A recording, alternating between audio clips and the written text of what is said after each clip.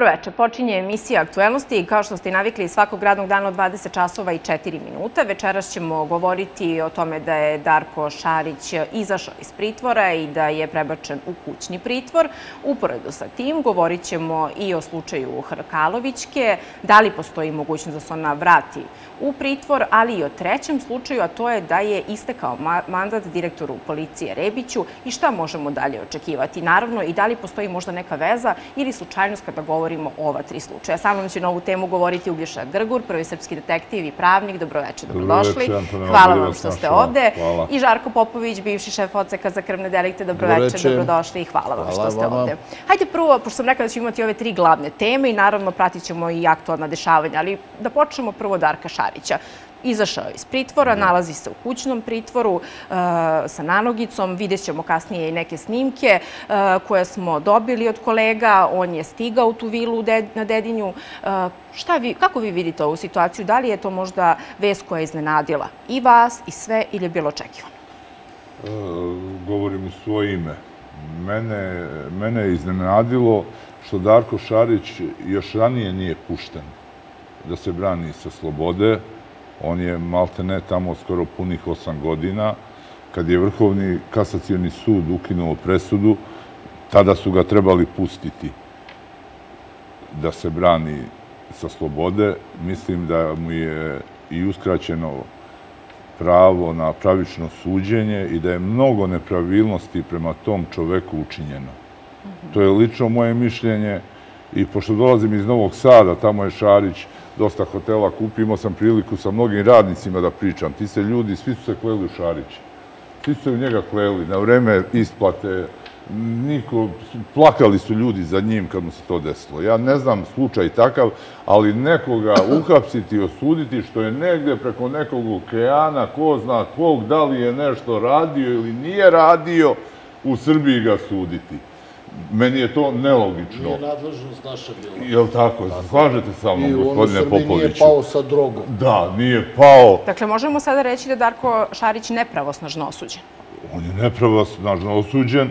I ja mislim, što se tiče narkotika i toga, ne znam, tu mu se stavlja i druga... Ne, oslobođen je Grgo za narkotike, da. nema dokaza. On je, on je ja mislim, Naravno da, nemaju dokaze. Da je utužen za prevaru i falsifikat. Da, ali to je... I pranje novca. Da, i to je teš, i to je treba dokazati. treba dokazati, sve. Da. Mislim da je čovek jako dugo držan u pritvor. Mene njegov, mene njegov izlazak uopšte nije iznenadio, čak naprotiv obradovome. Dobro, gospodine Popović, kako vi gledate ovu situaciju? Ne treba ljude mučiti. I kada govorimo, oprostite o tome da je Darko Šarić nepravosnožno osuđen, kada govorimo o švercu droge iz Južne Amerike, vi ste malo pre negde i e, odličan uvod napravili, rekli ste da je on zapravo osuđen samo za falsifikovanje. Za falsifikovanje, prevaru i on je osuđen za pranje novca. Onda je njemu u vreme prethodne vlasti u vreme vladavine demokratske stranke, njemu su, recimo, konfiskovali imovinu i vršili e, javno licitiranje njegove imovine na vilinim vodama. A to po zakonu ne sme. Tek kada je pravosnažno osuđen da je stekao, jeste, da je stekao ovaj, na nelegalan način imovinsku koriste, e onda, ali po pravosnažnosti presude, onda može imovina da mi se konfiskuje i da se bude izložena javnoj licitaciji. Do tada može imovina biti samo blokirana. Da ne može da raspolaže sa njom, da je koristi i eventualno da je otuđi. Da, oprostite, samo da, kažem kolegama iz režije da pripreme snimak upravo kako Darko Šarić stiže upravo u svoju kuću. Snimak je spreman, pa će pustiti kolege dok mi razgovaramo. Ono što bih vas ja takođe pitala, kome smeta Darko Šarić na slobodi? I da li postoji neko takav? Pod ovom kažem, po meni kako je on uhapšen, liči da je on namešten od nekog konkurentskog klana. On je uhapšen, znate i sami da su bile priče 5 tona, 6 tona kokaina, u Španiji, ovamo, onamo, nigde droge nema. Ja, koliko mi je poznato iz moje policijske prakse, a i ovaj, e, ljudi mogu da odgovaraju za takvo krivično delo ako se uhvate da su e, dilovali direktno na brodu, da je on bio i njegova ekipa i da je tada zaplenjena droga, Oni su čak skidali otiske sa pakovanja tog kokaina koji je švercovan, nigde njegovih DNK tragova nema, niti bilo šta. On je, znači, po meni klasično namešten od konkurentskog klana na neku nesuvislu priču, ali nigde nijednog materijalnog dokaza nije bilo. I što kaže kolega Grgur, on je mnogo proveo u zatvoru za nešto što nije apsolutno. Ako vi ne možete za 8 godina da dokažete njemu da je nešto radio, pa kada ćete mu dokazati? Za 55 godina, ne znam. Da. Ne možete na silu vi isterivati pravdu. A u kom pravcu će sada ići upravo sve ovo? Ako znamo da je on sad u kućnom pritvoru... A vidite da vam kažem, Antonella, ići će na konačnu presudu, dobit će, ja mislim da će njegov pritvor da, da pokrije krivično delo za koje odgovara. Čak i to možda mnogo. To je moje mišljenje. Da, da, E sad, da. šta će biti Grgo, ne znam. Ako se tu mešaju prstići nečiji drugi u ovaj postupak, može svašta da bude. Ja to ne znam. Da. Znate, vrlo je, e, vrlo je, vrlo je neodgovorno bilo sa moje strane sad da kažem gde će to dalje biti, da li će biti osuđeno. Znate, sami je oko ovog slučaja Hrkalović. Svi su krenuli u ofanzivu, naručila 50 ubistava. Sve to stoji vamo namo, ali nigde dokaza nema. I osuđena je za delo koje je trivialno.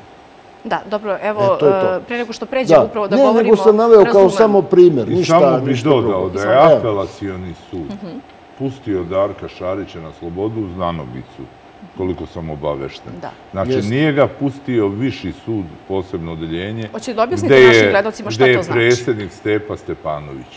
To mnogo znači. To mnogo znači. Ko što u ovom slučaju Hrkalovićke, što sam ja kod vas u emisijama i najavljivo, da ne zaboravimo da pravo ima žalbe tužilac, da će viši sud, ne KV veće višeg suda, gde je opet predsjednik KV veća, predsjednik višeg suda Stepa Stepanović, pustio Hrkalovićku na slobodu, ali apelacioni sud je poništio to rešenje i naložio KV veću kako da postupi, dao upute. Dobro, Sad posle može- ćemo pričati upravo o tome. Dobro. Ajde sad da, da završimo negde ovu priču kada govorimo o Darku Šariću. Da. Pitala sam gospodina Popovića da pitam prosto i vas, kome smeta Darko Šarić na slobodi? Pa kome smeta? To što je rekao Popović, saglasan sam sa njim. Kome smeta?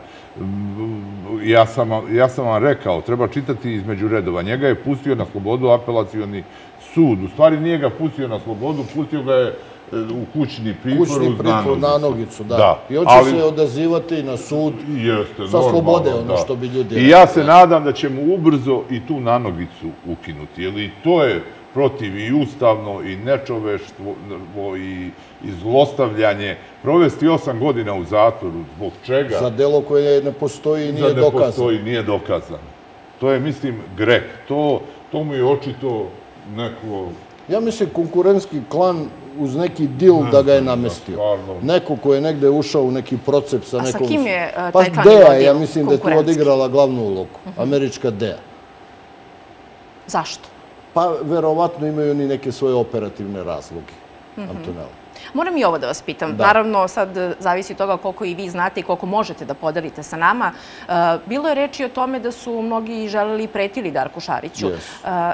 Ko sada preti Darku Šariću i ko će, da li možemo očekivati da uslede neke pretnje? Konkurentski klanovi samo, Antonella. E, nesporno je da je taj čovek umešan u te stvari. Jer to pričaju i, i ljudi koji su sa njim to radili. Pričaju.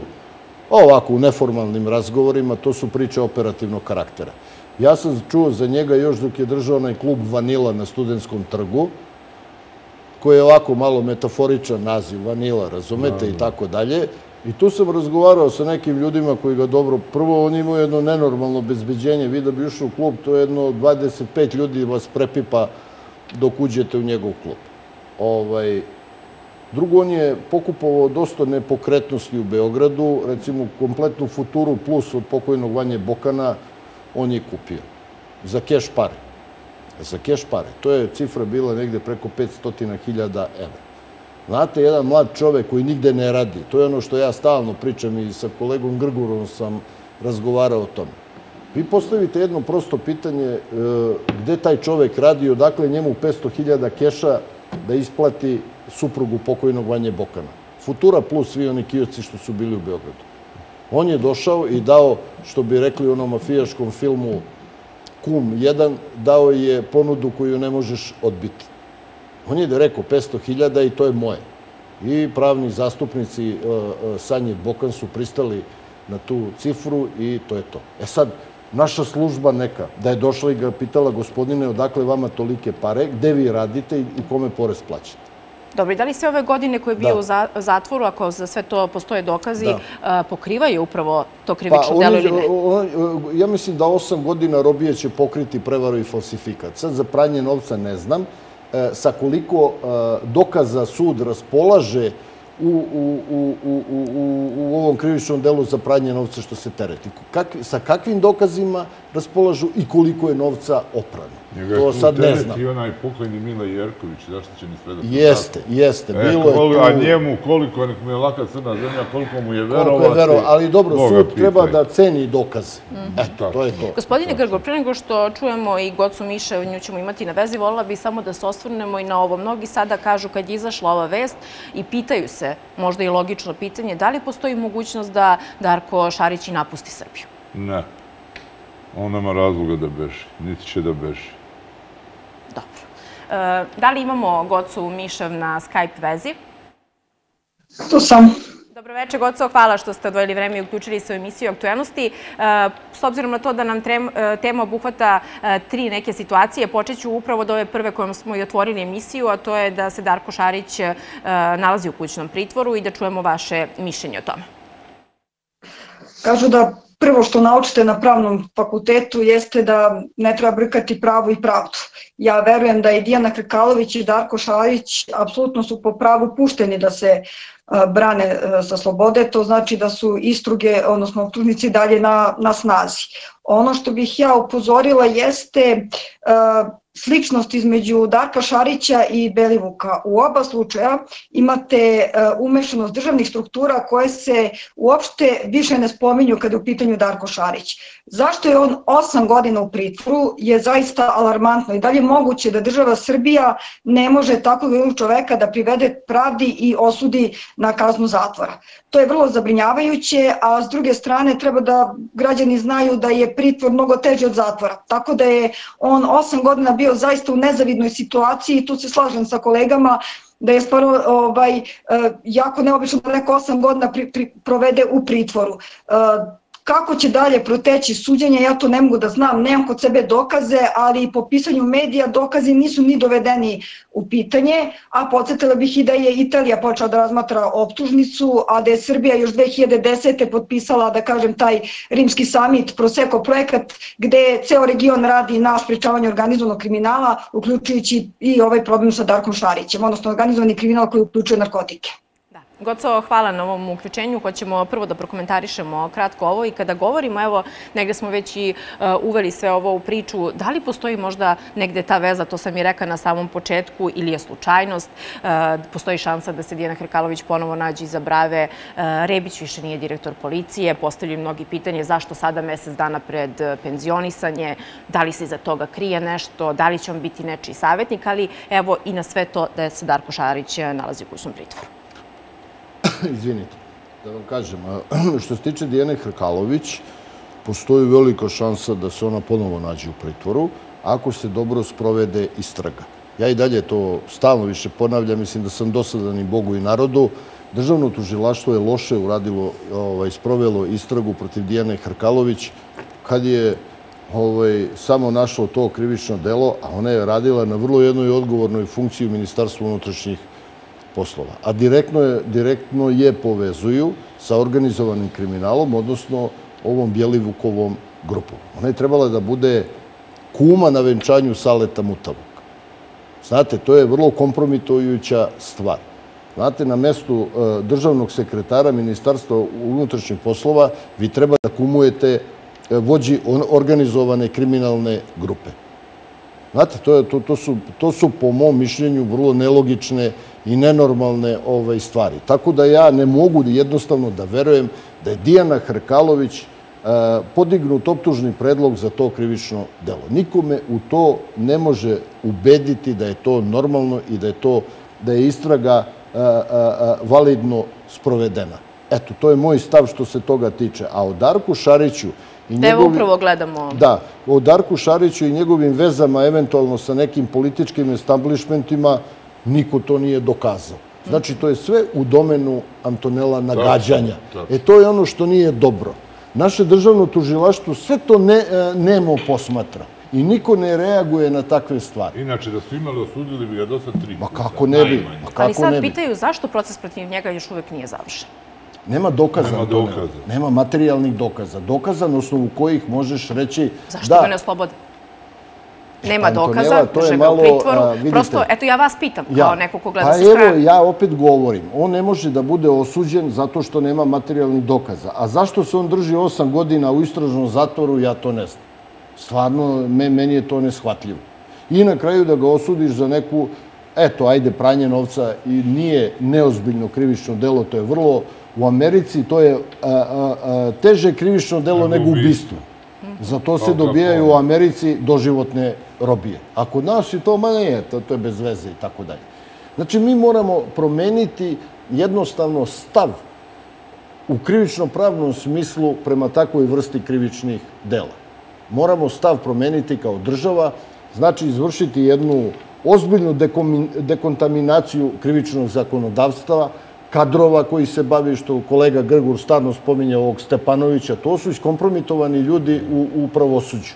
I vi morate poslati naše tužioce, ja sam rekao, izabrati mlade, e, moralno i etički ispravne tužioce, poslati ih na školovanje, ali obavezati ih da moraju narednih pes- 15 godina posle tog školovanja u Americi i Italiji, ali ozbiljnog školovanja, ne na neki kursić dodu tamo 2-3 meseca, nego par godina da provedu u FBI-u, u, u, u bilo gde, da nauče kako se sprovode istrage protiv e, e, pripadnika i članova organizovane kriminalne grupe, posebno kada dođe do plasiranja prljavog novca u legalne tokove. To mora stručno da se obradi i da se implementira u naše krivično zakonodavstvo. E onda ćemo imati jake presude, imat ćemo rešene slučajeve, imat ćemo ozbiljne i politic, političke, e, pardon, izvinite, policijske i, i, i tužilačke istrage. Do tada, ovim tempom, ako se bude radilo, mi ništa ne možemo da uradimo, a to stvara onda sumnju u javnosti. Te da je politika umešana, te da je umešan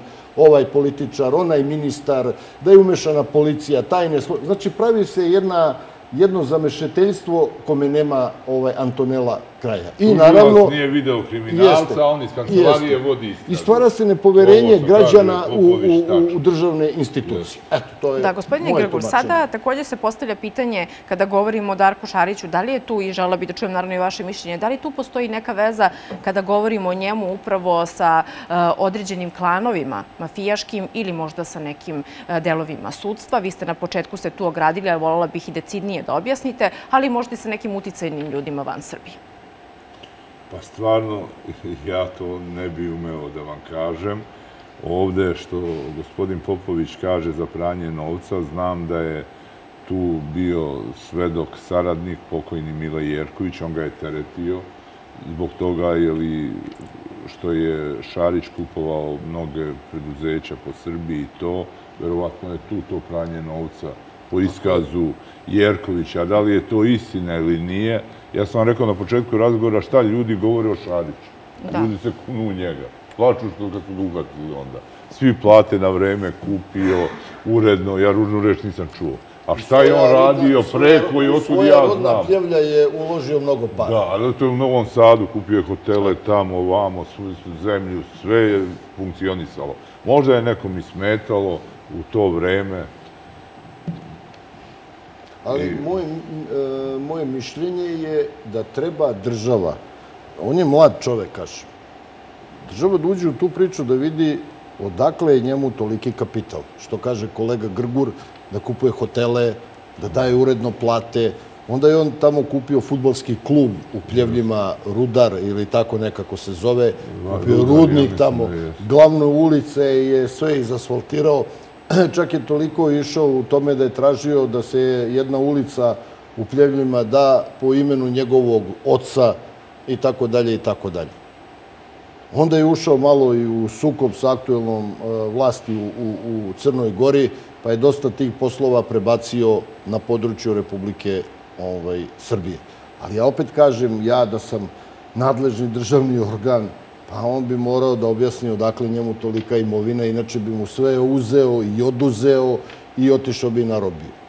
Ako ne može da na, pravi, na pravni način Evo, ja objasni... se izvinjam što vas prekidam, ništa. upravo gledamo sad ove fotografije i naši gledalci mogu da vide, upravo smo o tome i pričali kako je Darko Šarić prebačen Maricom iz pritvora do svoje kuće. Ali evo, ajde sada da se osvrnemo uh, i na nekadašnjeg direktora, sada već mu istekao mandat uh, policije Rebića. Uh, kao što sam rekla, postavlja se pitanje da li je to slučajnost uh, i da li će i čiji će on možda savjetnik biti, šta to zapravo znači i da li on nekoga štiti. Pa, Antonella, da vam kažem, ja sam rekao u jednoj vašoj emisiji, kolega Grgur je isto saglasan sa tim bio, ja da sam bio na mestu državnog tužioca, ja bi insistirao da on dobije otkaz u policiji i da se pritvori.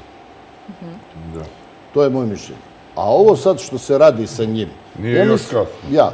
Ovo što se sada radi sa njim i postavlja se za savjetnika, tako sam sinoć u, ja u dnevniku čuo, da, se postavlja za savjetnika ministra unutrašnjih poslova. Ja ne mogu da verujem da... Ne, evo, ja sam to grgo sinoć na vestima da. gledao, nisam ja Da, to da. izmislio. Da, čuo I sam to i na ja, ali ja ne i mogu to da na verujem. državnoj, i ovo, na prvom programu o, Ja ne televizije mogu da Srbije. verujem to. To sam gledao. To je istina, da, Jeste. ali ne mogu da verujem. Ja, e sad, šta ja, kakav zaključak ja izvodim?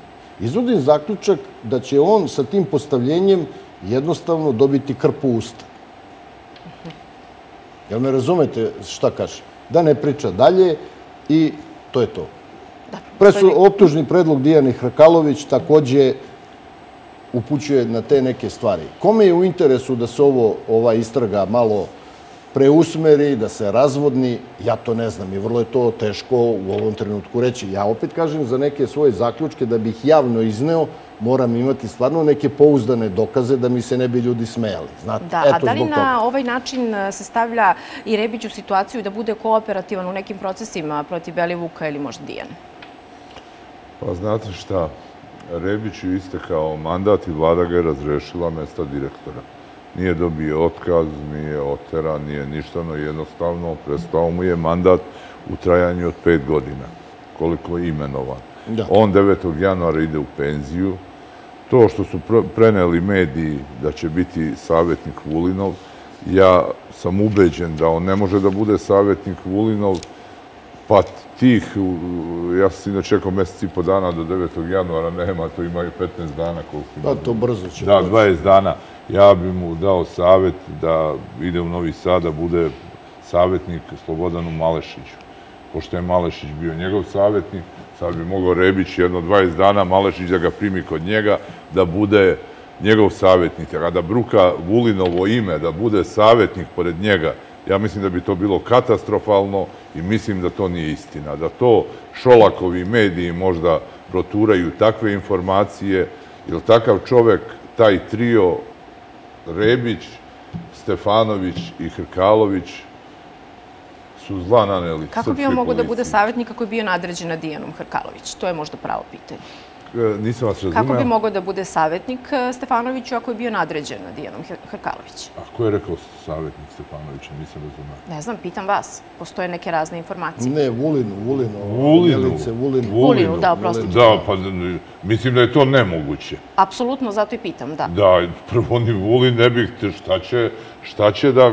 On je iskompromitovana On je iskompromitovana ličnost i sad treba Vulin, koji je stekao ogromnu popularnost u narodu, I razotkrio u kriminal i u policiju. Cene ga građani, policajci u mom selu Međa, tamo se kunu u Vulina. I sad da on dozvoli da mu Rebić bude savjetnik. To ne može da se desi. On može da bude savjetnik Slobodanu Malešiću, načel, VD načelniku P u Novom Sadu, pošto je e, Malešić bio savjetnik Rebiću dok je bio direktor. Da. Ali Vulinu ne. Da Malo- kompromituje i bruka ime Vulina i njegov rad dosadašnji što je uradio, ne. U kojoj meri sve ovo sada povezano možda sa dolaskom Darka Eleza kada govorimo o povratku mogućem Dijani Hrkaloviću u pritvor i o, oko svega ovoga sa Rebićem? Da vam kažem, Nela, ja sam e, rekao da to može otići u dva pravca, odnosno u dva smera. Darko Jeles, e, da uđe u neku priču vezano za Dijanu Hrkalović, mora da ima ozbiljne dokaze za to, koje će oceniti, opet se vraćam na to državno tužilaštvo, i ako ono proceni da, da njegove izjave mogu doneti osuđujuće presude, Dijana Hrkalović će biti uhapšena i vraćena tamo gde joj je mesto. može se desiti sledeća stvar, da Darko Eles ništa ne kaže da ode na izdržavanje kazne zatvora. Znate šta, on ako uđe u neku ozbiljnu priču sa, sa, sa tužilaštvom za organizovani kriminal i podnese određene dokaze protiv određenih ljudi, može dobiti u javnosti i u njegovom svetu dobiti status e, e, e, cinkaroša, kako oni kažu. I da kad ode na izdržavanje kazne zatvora u, u Sremsku Mitrovicu, da se zaleti neki klinac da stekne slavu i da ga izbode nožem, a sa njegovom grupom koja ostane na slobodi neće niko sarađivati, jer će reći vaš gazda je cinkaroš. To može da bude.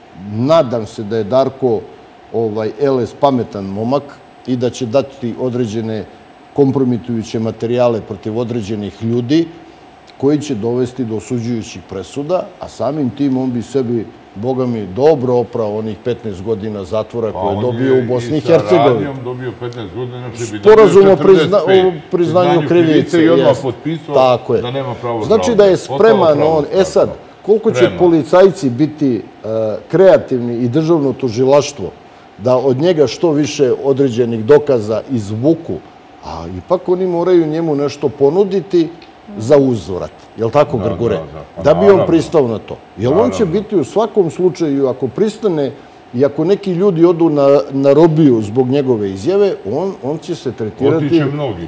U, u, u, iskompromitovaće svoj položaj u kriminogenoj sredini. Znači, on to mora da proceni, a i naše, kažem, opet od, e, od kreativnosti državnog tužilaštva i policije, koji će voditi istragu protiv njega ovde i razgovarati sa njim, zavisit će kakav će on stav zauzeti prema svemu tome. Nadam se da će toliko biti inteligentan i pametan Darko Eles da uđe lepo u saradnju sa tužilaštvom za borbu protiv organizovanog kriminala i da se ovaj Gordijev čvor oko Dijane Hrkalović, oko Bjelivikove ove koljačke grupe, da se to jednom razreši i da ti ljudi završe tamo gde treba da završe. I apsolutno svi oni koji su sa strane bili umešani u tu priču. Da li kao politička podrška, da A li kao dosta ih ima na slobodi. tako je, da li kao pravosudna podrška, to već zavisit će opet od, od, od prikupljenih dokaza. Da, gospodine Grgur, rekli ste dosta ih ima na slobodi. Kada se može očekivati da ti koji su na slobodi, možda možemo ih nazvati i remetilačkim faktorom u istrazi, Naravno. budu tamo gde treba, odnosno izabrave? Pa naravno, što kaže i Popović, da remete istragu i čim su na slobodi, da, da to rade. Vratio bi se na Hrkalovićku. Ja se nadam da će njoj biti, da će biti vraćena u pritvor. Neće možda sada, možda KV veće donese istu presudu koju je doneta da ide na slobodu, ali to sam ja i rekao kod vas u emisiji. A Grgo, izvini, je li tebi malo čudno ovako kao, kao pravniku i čo- čoveku od iskustva da ona nije na nogicu dobila? Je li tebi to malo čudno? A ovaj osam godina leži. A ovaj osam godina Da. bio i dobio na nogicu. A moram i ovo da vas pitam. Jedno od Jel ti pitanja... čudno malo, Grgo, to? Pa, strašno mi je čudno. Eto. Dobro, jedno od pitanja koje sam vam dobila pre nego e, što je počela emisija, definitivno se provlačilo i po medijima, jeste, sada se postavljaju, možda nema nikakve osnove, ja bih volala da mi obojica odgovorite, da li možda postoji neka veza klana Belivuk, Darka Šarića i Hrkalovića? Evo, kolega, ne počne prvo. Grga. Darko Šarić mislim da s Belivukom veze nema. Moje neko mišljenje... Nikakva saznanja nema. Nikakva saznanja nemam, niti... I uradio sam ja uveliko u supu bio kad je Bolje Šarić. zna Popović, ali ja mislim Bjelivuk da je bio tada A mala beba. Hrkalovićka sa Belivukom, to je opšte poznato. Da, o tome smo već više puta i pitali. Gospodine da- Popović. Pa evo, Antonella, da vam kažem, e, ja sam u to vreme uveliko bio pripadnik službe. Bjelivuk je tada bio, da kažemo, klinac, navijač, ništa, beznačajan čovek, niko nije ni znao za njega. Tako da čisto sumnjam, prvo da bi Darko Šarić ušao u bilo kakvu konekciju sa Bjelivukom i onim Miljkovićem, kad vidi kako su to nenormalni ljudi, razumete, ne verujem da bi... Darko Šarić nije prvo taj profil čoveka da se tako On nije ponaša. ubic, on je biznismen. Bez obzira šta kako god je- da radi, on je, on je gledao da zaradi par. čovek. Ali ne na takav način da... On nije nikog ubio, nikom meni je ovo nestvarno kad gledam da su klali ljude, da pravi, mleli ih u mašini.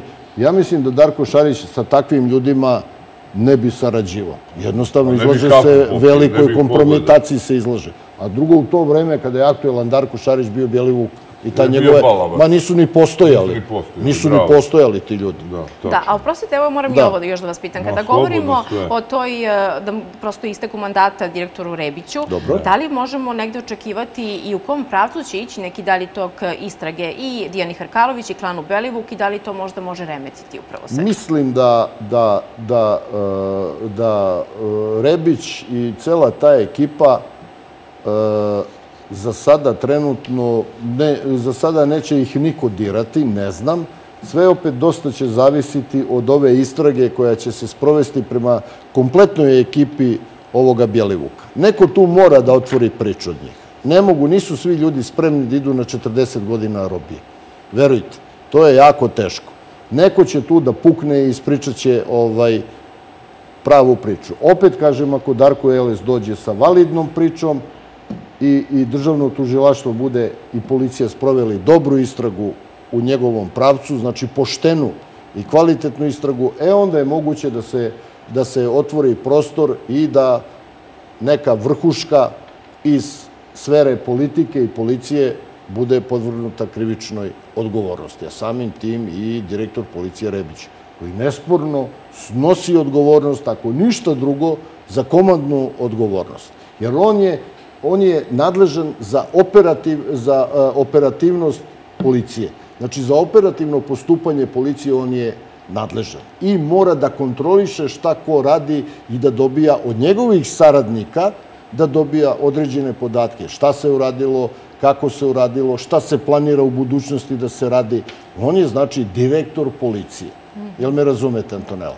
E sad, kažem opet, ako tužilaštvo i policija tokom istrage dobiju određene dokaze, zašto ne bi odgovarao? Ali ja mislim da taj čovek, to je moj stav, da, da snosi dobru odgovornost vezano za Bjelivuka, za Dijanu Hrkalović i za celu ovu aferu koja je stvorena.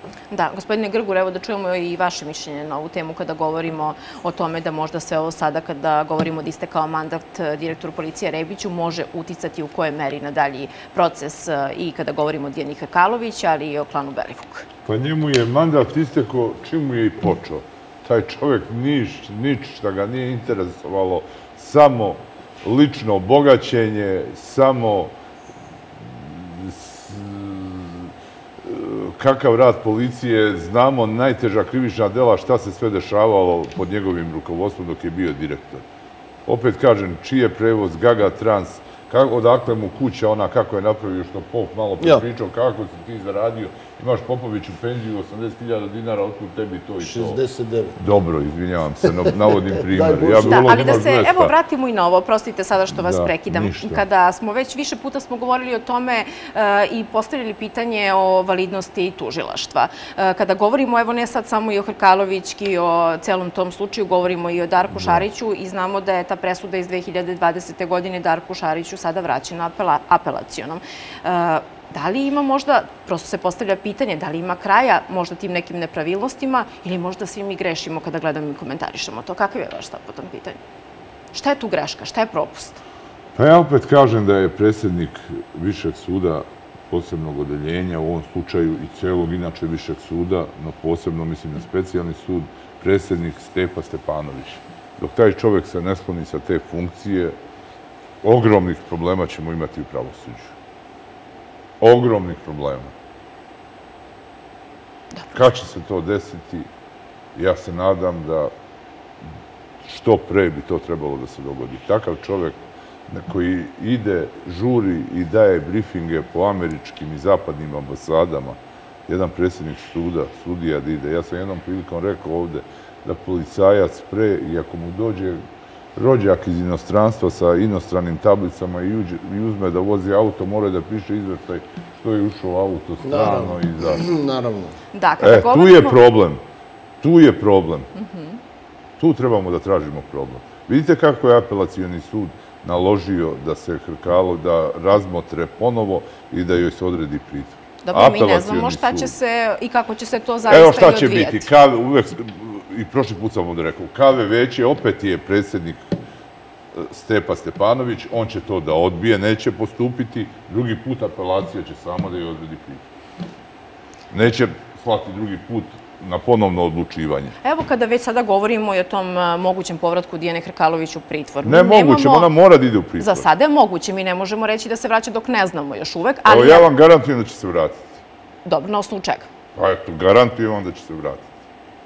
Da, dobro, ali kada govorimo o tim nekim informacijama i Jer nije vezanim... normalno ja da bude na da slobodi, niti joj ukinuli internet, niti bilo šta, a ne na nogicu, što Nema popalo na pred nogicu, pištolj. što je jako interesantno. Da. Ona nije dobila... A na ovaj. Šarić, čovjek to osam znači? godina je Pa, u, u samici bio sam. tumačiti na više načina. Ali mislim da ona ima, da je dobila jedan ovako prostor Pa ona je prijateljica, slobodno jako bliska sa Stepom Stepanovićem, E, da. predsjednikom suda. Evo samo da kaže gospodin Popović, pa Mislim, ćete Da, vi pa poslati. evo da samo podsjetim. On, ona nigde sad, ona e, e, nije limitirana uopšte. Ništa. Ona se slobodno kreće, slobodno se druži sa ljudima. Ona Da. može sad da utiče eventualno na neke svedoke, da, da im, da im da izdaje Kažu, određena traže vraćanje u naređenja. pritvor zbog mogućnosti i da pobegne i da... I sad bi da Utiče kažem. možda sada na sve- izvolite. Gospodin Pa mislim Popović da je ona mene da na, na merama nekim Gospodin da ne Popović je mene da razume tačno da je verovatno trebala bi da na merama. Na merama bi A znamo da je držala celi MUP, da je bila državni Jeste. sekretar. Otkud Ima jake poluge u MUP-u ona još. Još ima, Još ima. naravno. Otkud mi znamo da ona nema na desetine lažnih pasoša. Tako je. Jel se slažete sa mnom, Tako je, slaže, apsolutno se slaže. Čak i diplomatski. I to bi logično bilo. I to bi logično A da li bilo. možemo očekivati da se razreši cela ta afera oko prisluškivanja predsjednika? Mi još uvek nemamo informacije niti oko uh, učešća Dijane u celom tom slučaju. Pa razrešit će se i sve to. I razrešit će se i EPS. I razrešit će se i Grčićeva tajna policija što je prituškivala Anđelka Vučića, oca, oca predsjednika države i radnik EPS-a. Ne smeš nikog da prisluškuješ, ni predsjednika. I taman predsjednik je isti kao Popija i Da. vi. Da čujemo Ne kratko i gospodina. Popovića i idemo na reklame po ovom pitanju. E, vezano za, za prisluškivanje. Tako je. Pa vidite, ja sam... Nemamo još to- uvek informacije oko njenog učešća je, upravo u Više puta tome. sam to ponovio, da su tu podbacili nadležne službe koje trebaju da čuvaju predsjednika Republike. Pre svega obavešteno i kontraobavešteno. Mora da ga pokrivaju i čuvaju. I meni je nenormalno da kontraobaveštena naša služba nije se zakačila za neko to tajno prisluškivanje koje traje više od godinu dana. To mi prvo nije logično. Ili su oni onda podbacili i nisu hteli da, da rade profesionalno svoj posao, pa su prećutali ovaj, tako ne, neke stvari, ili jednostavno možda je preterano o, ta optužba bila da je on...